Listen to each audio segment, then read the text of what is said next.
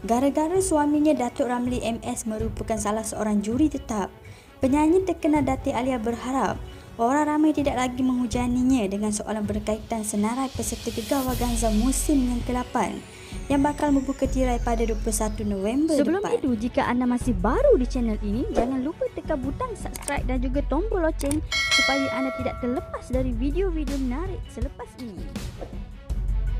Dedah Alia atau nama sebenarnya Nur Hasliah Abdul Hassan 39 tahun. Dia terpaksa melalui situasi yang sama setiap kali Gegar Waganza berlangsung saban tahun. Lebih lucu lagi ada juga yang meminta pertolongan pelantun lagu Sesat Separuh Nyawa itu untuk mendapatkan tiket konsert mingguan Gegar Waganza.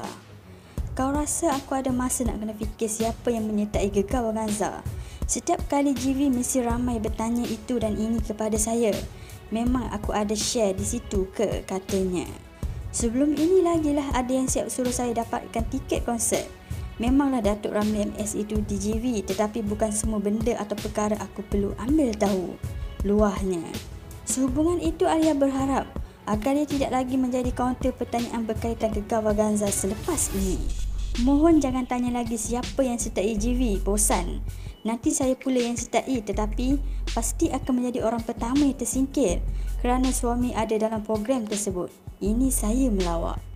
Namun pesanan di atas itu saya serius okey.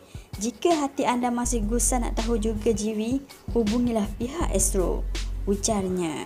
Setakat ini bayangan peserta yang akan bertanding dalam GV8 masih belum diketahui.